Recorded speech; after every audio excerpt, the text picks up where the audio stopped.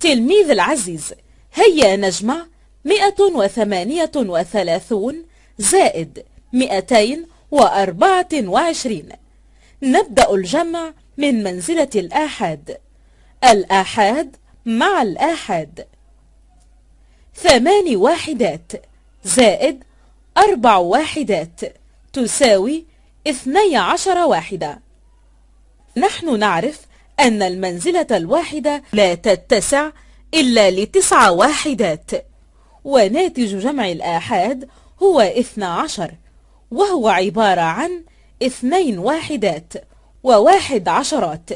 لذلك نضع اثنين في الآحاد ثم نرحل العشر واحدات لتصبح واحد في منزلة العشرات.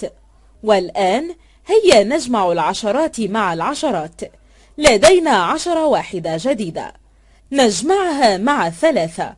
يصبح لدينا أربعة. ثم نضيف إليها اثنين. يصبح ناتج جمع العشرات ستة. نضع ستة في المربع في منزلة العشرات. والآن هيا نجمع المئات مع المئات. واحد زائد اثنين يساوي ثلاثة. نضع ثلاثة في المربع في منزلة المئات.